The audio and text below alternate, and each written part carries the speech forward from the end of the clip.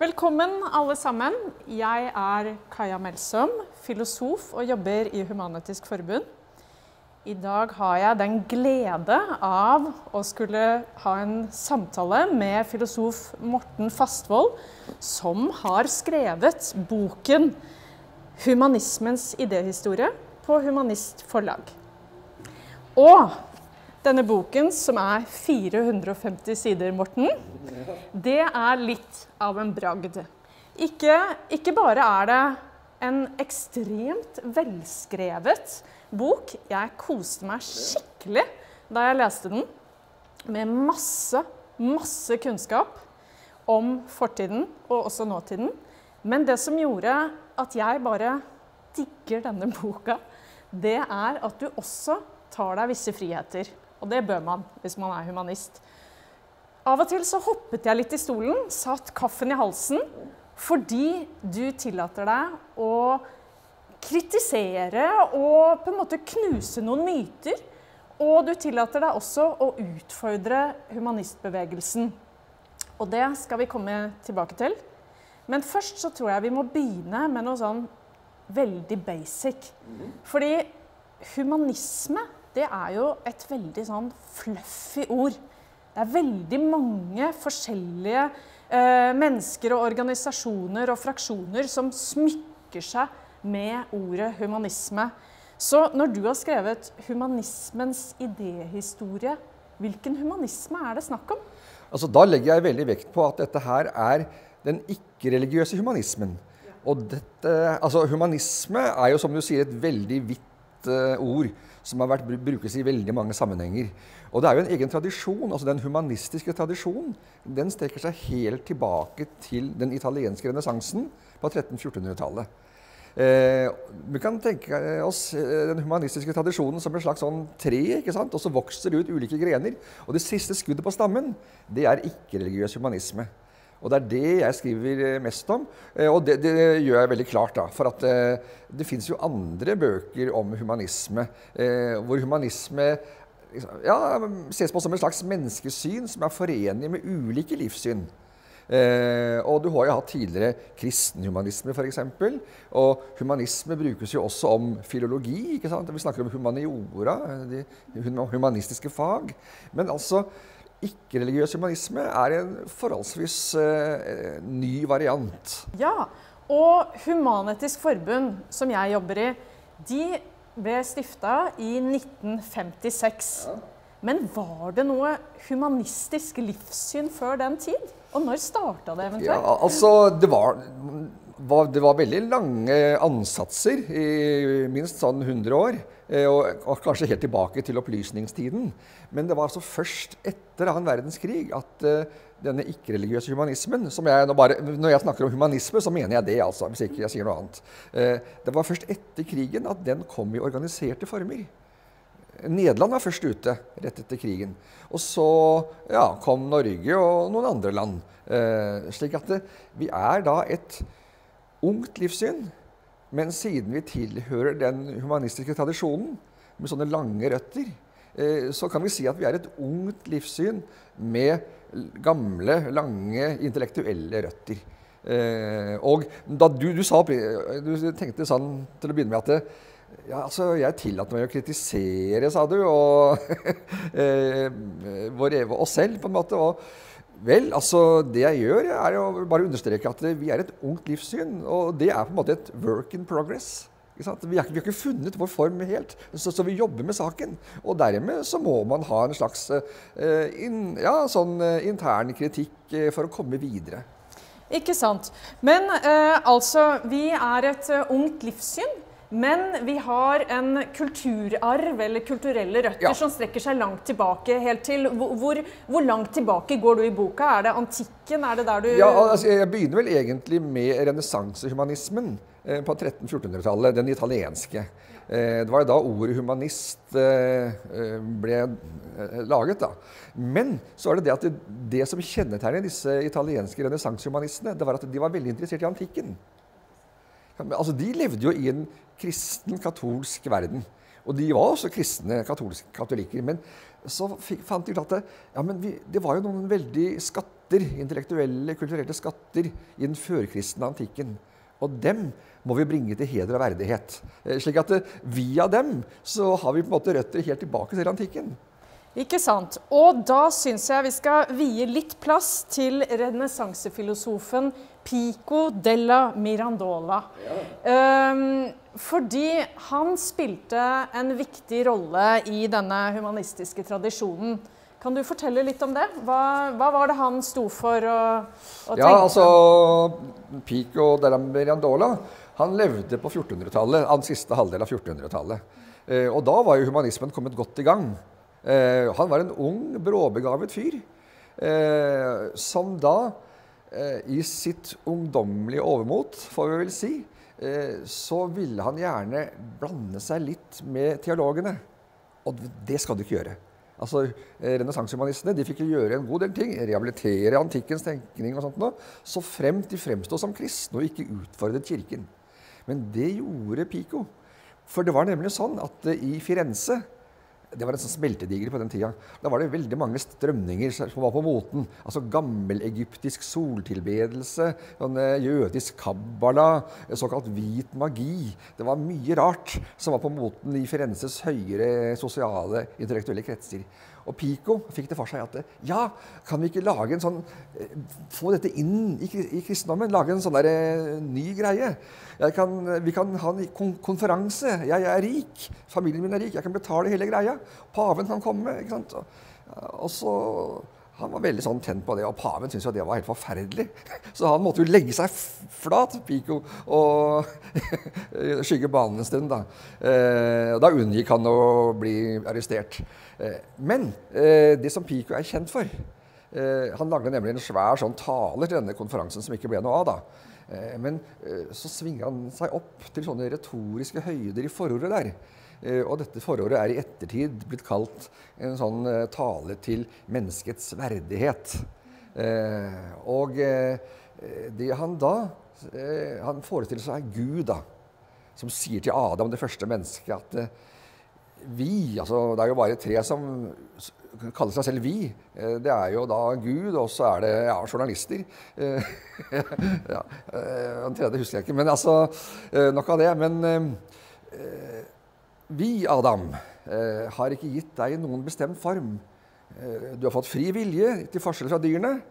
Og du kan gjøre som du vil. Du kan skape deg din egen form. Du kan velge deg selv, på en måte.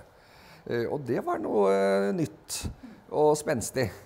Ja, og da sier han noe som jeg synes, har bitt meg merke, for jeg syns det er så vakkert. Han sier at vi mennesker er Han påpeker denne frie viljen da, som vi har til forskjell fra dyrene, og så sier han at vi kan velge å synke ned på det dyriske nivå, ja. eller vi kan velge å opphøye oss selv til det guddommelige. Ja. Og sånt lager han, syns jeg, da et veldig vakkert bilde på den menneskelige frihet, men også på det menneskelige ansvar. ikke sant? At vi, ja, vi kan bruke friheten til å øh, til å degradere oss, til å gjøre onde ting, til å gjøre verden til et verre sted. Men vi kan også strebe etter eh, idealene våre, det guddommelige. ikke sant? Mm. Eh, altså, vi har ut, i utgangspunktet, hvert og ett menneske, ingen sånn fast form.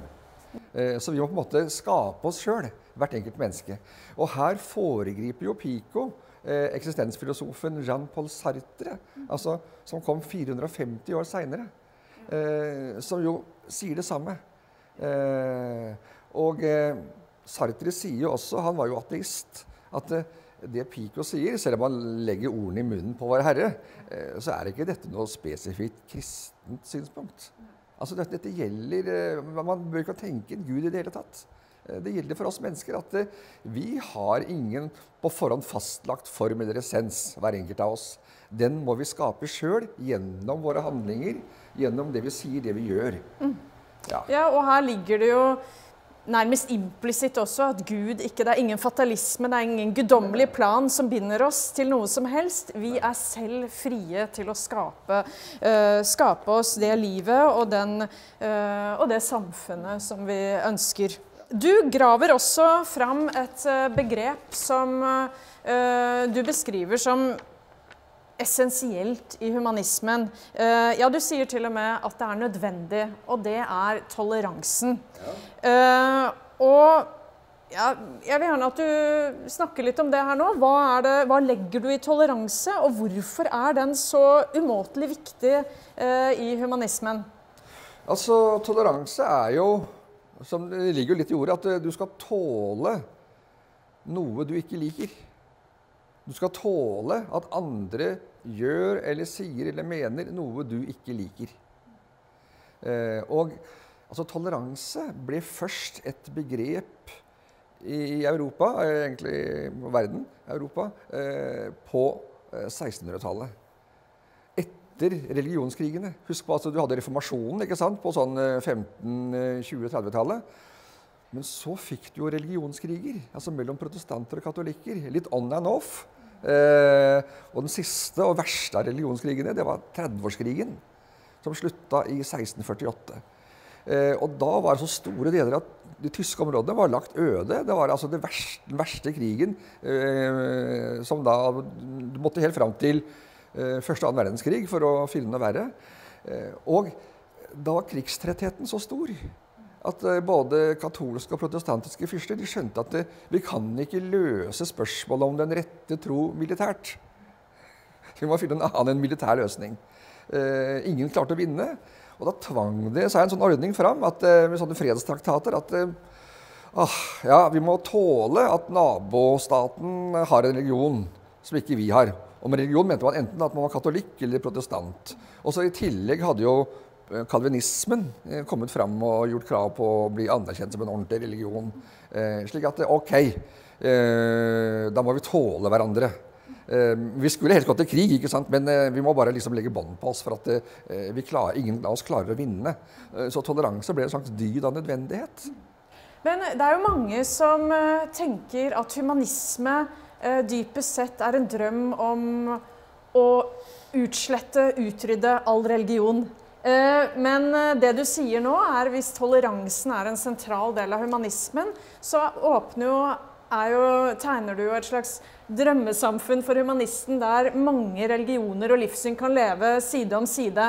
Er absolutt. Det, ja. ja. absolutt. Og, det, eh, og bare opplysningstiden kom jo ikke så lenge etter da religionskrigens slutt. Så det var jo et nært traume for dem, akkurat som første annen verdenskrig er det for oss. Eh, og Du har Voltaire, andre opplysningsfilosofer. Altså, de var jo ikke imot religion i det store og hele og drømte om et ateistisk samfunn hvor religion er utryddet. Overhodet ikke. Det de var opptatt av, var nettopp toleranse. At eh, altså, staten må slutte å forfølge borgere som har en annen religion enn den staten vil at folk skal ha. Og dette er jo utgangspunktet for den sekulære staten som Human-Etisk ja. Forbund i dag ja. eh, arbeider for eh, ja. å skape. Eh, nemlig en um, sekulær stat som likestiller alle borgere, uavhengig av eh, religiøs tro eller mangel på det samme. for der de religiøse gjerne tror på guder og eh, hengir seg til fargerike fortellinger så er vi humanister eh, liker vi å støtte oss på fakta og på grundig argumentasjon og, og, den slags. Derfor blir vi også ofte anklaget for å være litt tørre og ja, kanskje litt blodfattige. Er det noe i den anklagen, Morten?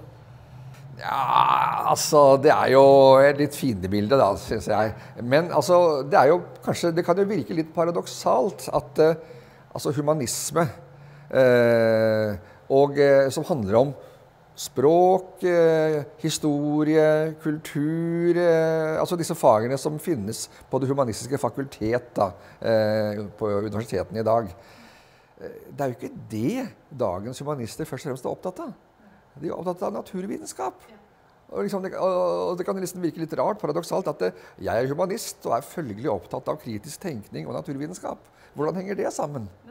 Eh, men det, ja, du var jo inne på det. At eh, det som eh, naturvitenskapen har klart helt siden den vitenskapelige revolusjonen på 1600-tallet, med Galileo eller ei, og senere Darwin, det er jo å tilbakevise den gamle kristne kosmologien.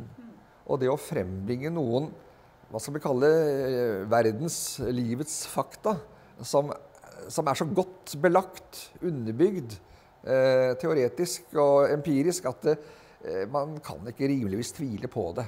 Eh, og dermed så har den gamle kristne kosmologien måttet vike til en ny på en måte mer mekanistisk eh, kosmologi. Og etter hvert så kommer jo Einstein og um, forvirret det enda mer. Men i alle fall så har da denne nye Eh, det nye synet på verden, universet, livet, eh, som vitenskapen har frembrakt, det er det som har gjort et humanistisk livssyn troverdig.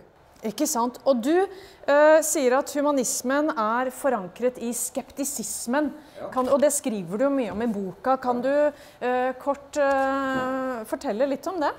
Hva, på hvilken måte er, ja. ligger skeptisismen til grunn for livssynet vårt? Ja, altså i dag da, så hører man jo gjerne om skeptikere. Og man tenker kanskje mest at å være en skeptiker eh, Det er vel til og med en forening som eh, heter det. at Da er man imot sånn som Snåsamannen og, og sånne fluffy New Age og liksom eh, overtro. da.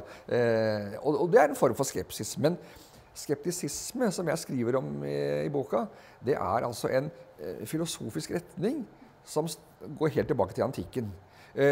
Og for å skjønne hva skeptisisme er, så må man skjønne Platon. Så det, liksom, det blir veldig sånn eh, eh, Ja.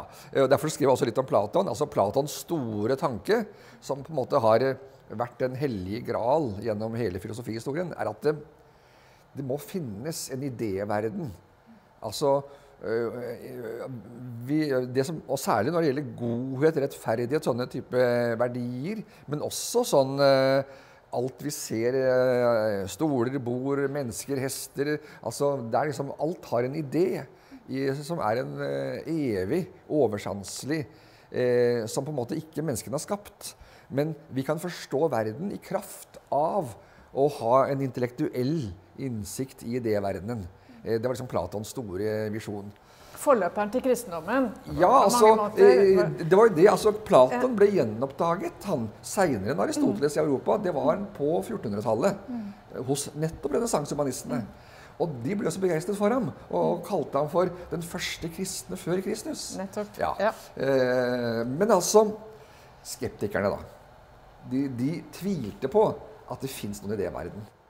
For det, det, er akkurat som med, liksom med å bevise Guds eksistens. Det lar seg verken bevise eller motbevise, som gjaldt idéverdenen.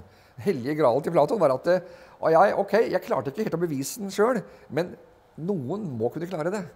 Eh, ja, Ingen har klart det på 2000 år eller 2500 år. Og skeptikerne de tenkte at nei, jeg tror ikke det fins noen idéverden.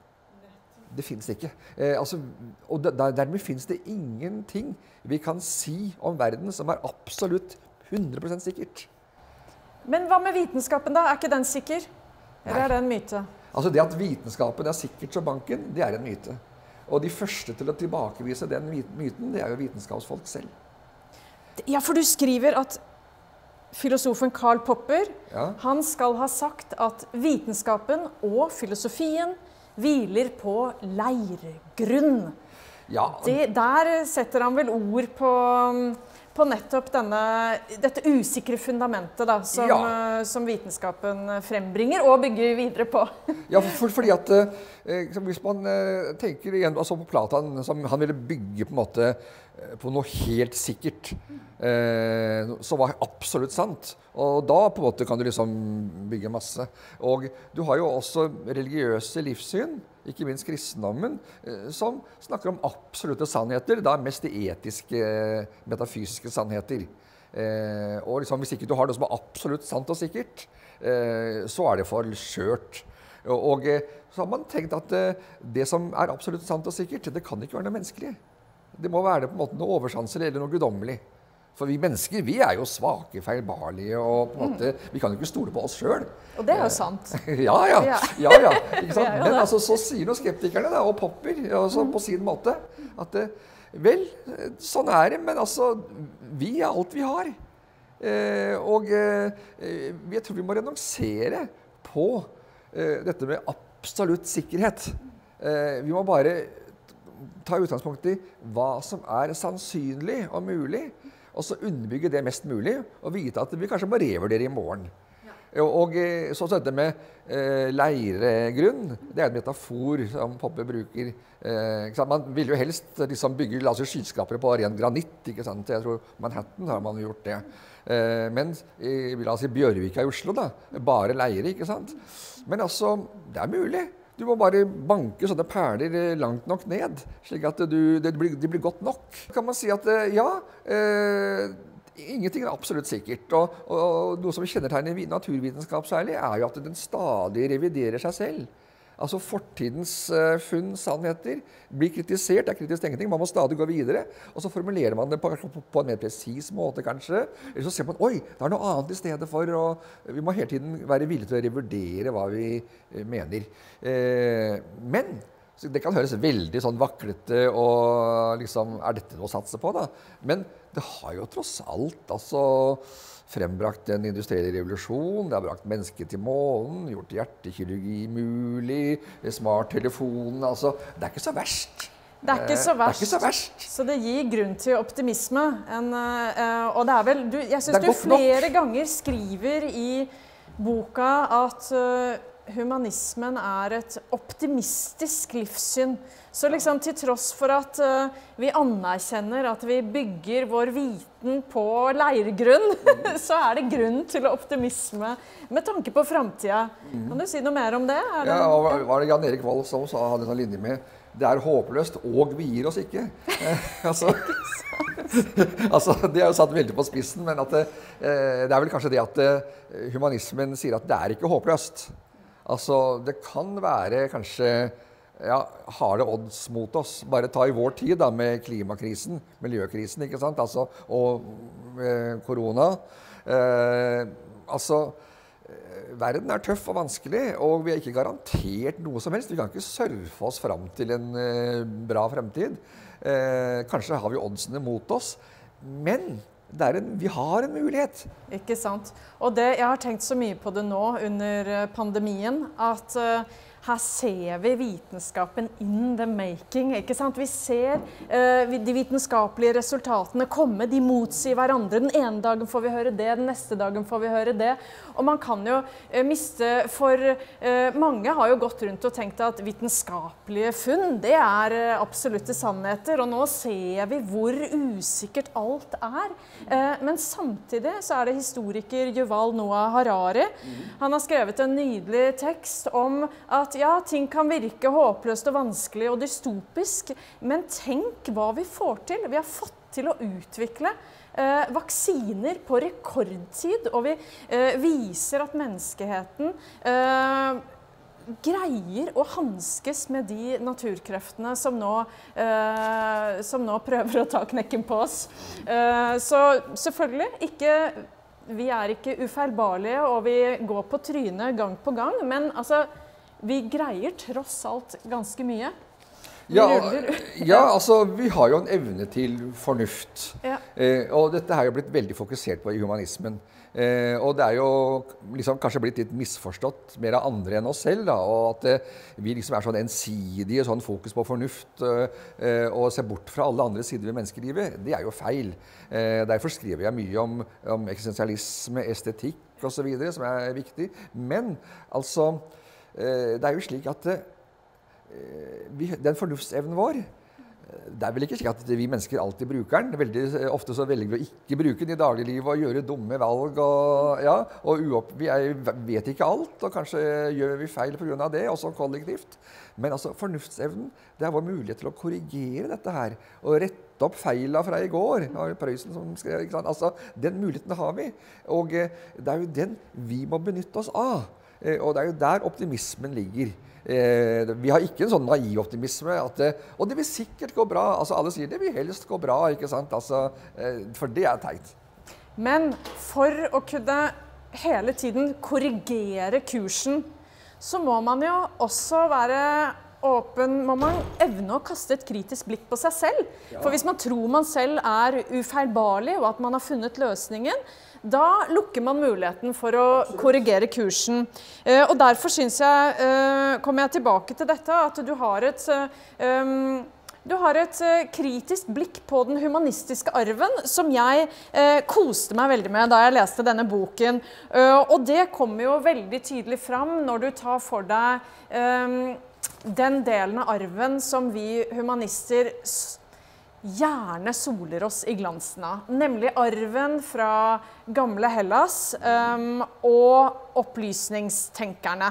Vi ser jo på Vi elsker å sitere Voltaire, og vi, uh, og vi elsker å sole oss i glansen av de gamle grekerne og hvor kloke de var. Men så skriver du i boka at uh, de gamle grekerne de var jo både patriarker og de var rasister, til og med. Uh, og du skriver at opplysningstenkerne de trodde ikke på demokratiet. Så her fikk vi oss liten, et lite skår i, i, den humanistiske arven. Hva, dette må du utdype. Morten. Jo, altså, Dette her har jo med historievitenskap å gjøre at eh, jo mer historikere har forsket da, både på antikken og på opplysningstiden, eh, så kommer det fram at eh, altså får man et bedre bilde av hva de faktisk tenkte. Og, et veldig viktig poeng her er, som renessansehumanistene faktisk var de første til å si at For de var de første til å interessere seg for historie. Det er det at for i det hele tatt å forstå tidligere tider, så må vi forstå hvor forskjellige de var fra våre egne. Altså, de, folk tenkte annerledes på den tiden. Eh, og vi må prøve å forstå det uten å på en måte legge vår egen tids tenkning som en slags ahistorisk fasit. Altså, du sier at ja, ja, eh, gamle grekerne var rasister og patriarker. og sånt. Altså, da har vi på en måte eh, vår tids eh, moralske vokabular. Og, eh, du har en, historikeren Terje Tvedt. Han har vel eh, laget et uttrykk 'samtidsimperialisme'. Ikke sant? Og eh, det er på en måte at man da bruker liksom, sånn som det vi mener nå, som er riktig, det er en slags ahistorisk fasit. Og så dømmer vi alle folk tidligere og epoker tidligere etter den. Og det er jo fullstendig ahistorisk. Og jeg prøver nettopp å, å vise at alle var et barn av sin tid. Voltaire, altså antikkens filosofer. Vi er jo alle et barn av vår tid. Men likevel så uh, slekter vi på ideene som uh, vokste fram uh, i gamle Hellas og ja. blant opplysningsfilosofene. Hva ja. er det på en måte viktigste vi har med oss fra disse to forskjellige epokene? Ja, Hvis man skal si det veldig kort, mm. så kanskje dette her med menneskets verdighet. Ja. Er det fra de gamle grekerne? Ja. ja. ja. Altså, og han Francis Fukuyama, den amerikanske statsviteren, han skriver jo mye om dette her i sin siste bok. da. Eh, at eh, dette her med eh, å bli anerkjent som likemann eh, i det greske demokratiet? Det er jo et eksempel på det. Eh, vel, det var bare eh, frie menn som fikk delta, ikke kvinner og slaver. og sånt nå, Så det kan vi på en måte kritisere ut fra vår tids tenkning. Men altså, til forskjell da fra Persia, ikke sant? nabostaten i øst, så var det despoti. Eh, en eneveldig hersker og nesten sånn gudelignende status og slaver i mye større antall. Og, eh, altså eh, Grekerne sa de er slaver, men vi er frie menn. Og eh, med slaver så mente de ikke bare at det var veldig mange som rent konkret var slaver, men mentaliteten der var sånn servil nesegrus, underkastelse overfor herskerne. ikke sant? Det, det var på en måte å være en slave. Mens vi er frie menn. Vi kan diskutere med hverandre, vi kan anerkjenne hverandre som likemenn. Eh, og hver, skal bli hørt. Eh, det var jo sånn, sånn allmøtedemokrati de hadde da. Ikke sant? Så, ja. ikke sant? Og opplysningstenkerne, hva brakte de til verden som vi, som, vi eh, som, som er en del av humanismen i dag? Jo, det var jo å, å videreføre denne arven. Altså Til forskjell fra renessansehumanistene, som prøvde å ta denne arven fra antikken eh, i seg og gjøre inn, altså integrere den i et kristent verdensbilde, så tok eh, opplysningsfilosofene og, og så på den antikke arven som et alternativ til det kristne. Eh, og nettopp dette med verdighet og rettighetstenkningen oppsto jo, om ikke de var demokrater eh, i opplysningstiden, så var de veldig for rettighetstenkning. Tenke på altså, menneskerettigheter. Universelle rettigheter. Og det var jo nettopp å på en måte, stå opp for menneskets verdighet. Og eh, stå opp for enkeltmennesket mot en mektig stat. Altså rettigheter, de skal jo begrense statsmakten. Altså, det er visse ting du ikke kan gjøre mot samfunnsborgerne dine.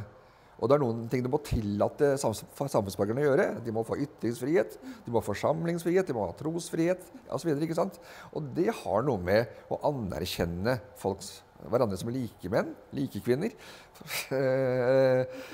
ja, verdighet.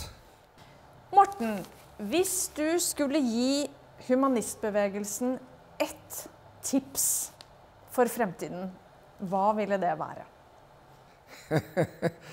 ja, si det. Eh, det må vel være å bare skjønne mer, la det mer synke inn, at eh, vi er et ungt livssyn som har oppstått historisk. Og som vil fortsette å utvikle seg. Eh, og eh, vi vil møte nye utfordringer eh, som vi ikke kan vite hver i dag.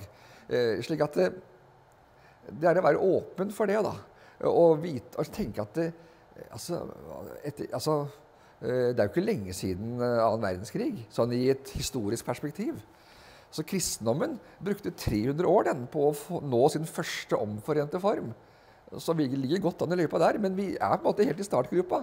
Eh, så på en måte å ha, være seg det bevisst da, og ha en sånn litt god diskusjon på hva er egentlig ikke-religiøs humanisme? Altså, vi må på en måte prøve å definere og, og forstå det bedre. Og det må vi jobbe med videre. Det tror jeg blir siste ordet. Tusen takk for samtalen, og til dere som har hørt på. Dette er boka 'Humanismens idéhistorie' av Morten Fastvold. Det er bare å, å kjøpe den.